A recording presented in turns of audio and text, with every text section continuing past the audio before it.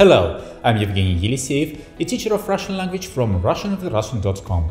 We continue our conversation about the Russian alphabet, and today we will examine two new Cyrillic letters called E and Ikratka.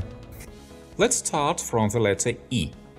In Russian, it's pronounced like the double E in feel.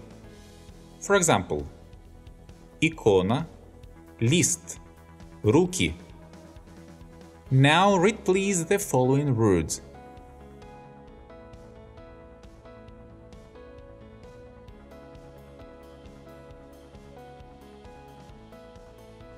The time is over. The correct pronunciation is Мир, кинул, изгибы.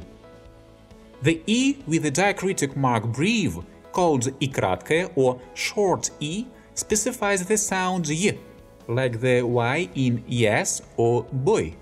For example, yoga, трамвай, новый, вой, строй, дуй. And now it's your turn to read.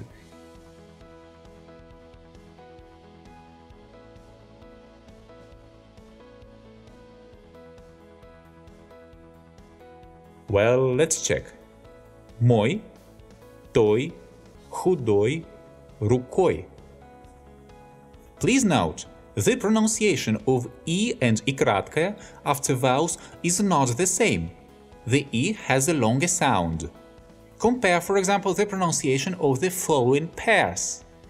Трамвай, трамваи, устой, устои, сабантуй, сабантуи, санаторий, санатории. Well, now you know 22 Cyrillic letters. If you enjoyed this video, please leave a like, subscribe to my channel and visit my website to get more information about the Russian language and private Russian lessons on Skype. Thank you, have a nice day, bye bye!